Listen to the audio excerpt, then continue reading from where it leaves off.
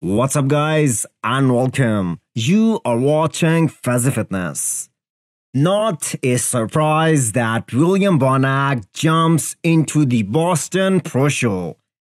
As you guys remember, only top 5 automatically qualify for next year's Olympia. And after 2016, it was the first time in Williams' career that he didn't make that top 5 previous year. So it makes perfect sense that William is competing at Boston Pro Show to get the win and earn the Olympia qualification. Then shut the season down and get things going for this year's Olympia. His performance at Arnold Classic has made him really relevant again, and people will not think about counting him out now.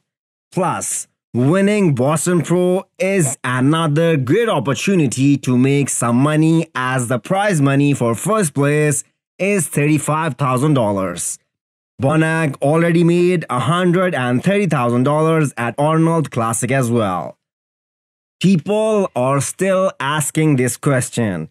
Did William Bonac deserve to win the whole show? So here is a response from two of the very known guys of bodybuilding industry. I think it's a really mixed bag because if you want to go for size and shape, you're going to go with Brandon. If you want to go for conditioning, it was William. Again, I would have leaned a little bit more towards the conditioning end because that's just me. That's my preference.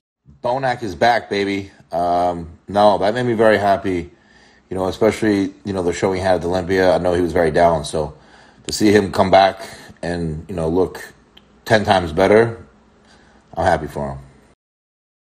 As a Brett Wilkin fan, I was really hoping that he would do Boston Pro, but turns out him and the team around him strongly believe that they need to go back to the drawing board and make some improvements before hitting the stage once again.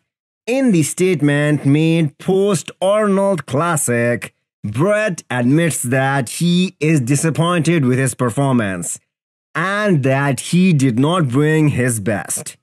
But him not deciding to compete at Boston raises a question that if it was just a peaking issue at the Arnold, then why not take the upcoming Boston show as an opportunity to present a better package and get another comparison with some of the veterans?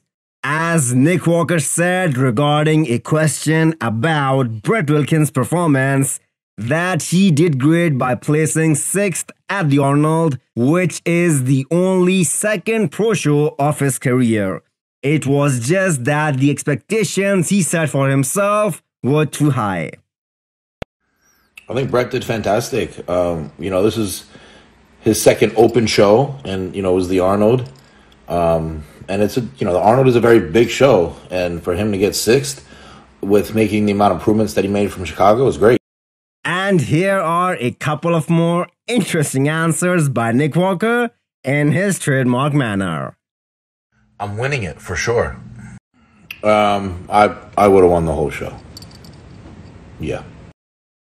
When Marcelo announced that he will be doing Classic Physique this year, Chris Bumstead was invited to Muscle Contest International podcast and he was asked about him. And his first comment was that he admires his physique but how will Horse MD make classic physique weight looking like that? And he had a point. I mean, look at Marcelo right now.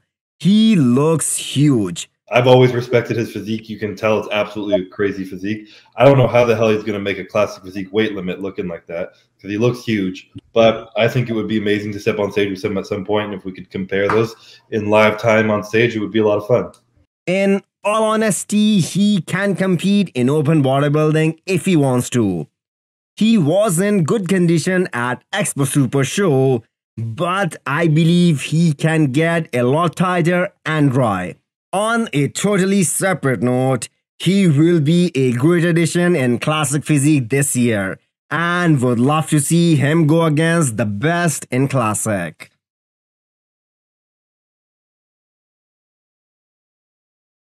Big Ramy left the door open in 2021, yet he still defended the title successfully. His coach and trainer stated multiple times that the lack of density on stage was simply because of lack of training throughout the year. This year, however, Ramy hasn't stopped. He has been training non-stop, and that is a dangerous sign for everyone aiming for that Olympia title this year. Just a few weeks back, DJ said he is over 350 pounds. The size factor is still overwhelming on stage.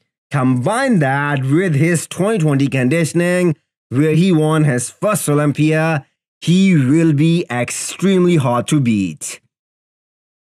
Hit the thumbs up button if you like the video and smash the subscribe button if you wanna come back for more. Thanks for watching.